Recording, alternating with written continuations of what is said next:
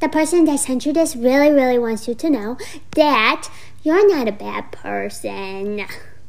You're just really stupid. But it's okay because we live in a world filled with lots of stupid people. Just some more than others. You're special.